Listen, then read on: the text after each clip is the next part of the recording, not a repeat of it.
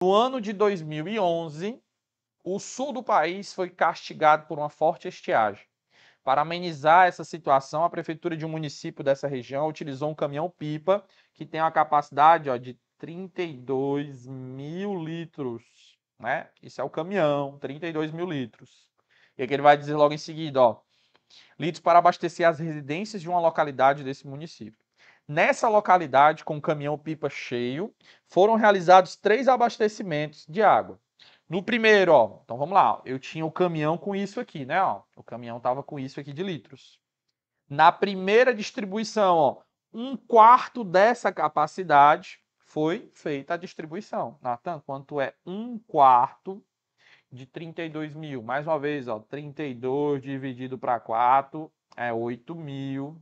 8 mil vezes 1. Então, ó, minha primeira distribuição teve 8 mil litros. Então, eu tinha um caminhão, o caminhão tinha 32 mil litros, né? Lembrando, na primeira, na, no primeiro abastecimento ele já liberou 8 mil, tá certo?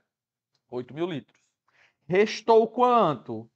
Restou 32 menos 8, restou 24 mil litros, né? Nesse caminhão. O que, que ele fala depois, ó?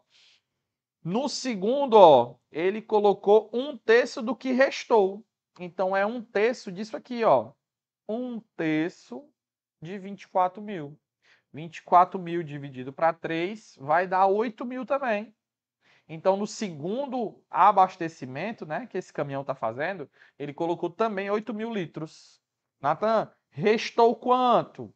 Se ele já tinha jogado 8 mil, agora mais 8 mil, dos 32, sobrou, sobrou 16 mil litros de água, né, desse caminhão pipa aí, ó, nessa questão. Tá certo? O que, que ele pergunta? Considerando que não houve desperdício de água durante o abastecimento e que o restante tenha sido utilizado totalmente, ó, o resto foi utilizado totalmente. Esse resto aqui, ó, ele abasteceu na terceira vez.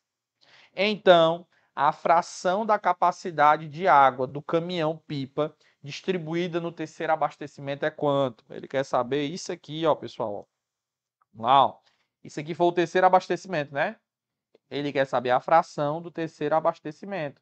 É 16 de quanto, pessoal? Do total, 32. 16 de 32, né, pessoal? Eu posso cancelar aqui os três zeros, ó. Vai dar exatamente metade, né? Então, ó, o gabarito aqui pra gente, ó.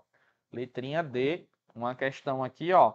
Também Enem, também super de boa. O aluno tinha apenas que se ligar nessa questão mesmo de tirar e pegar o que sobrou.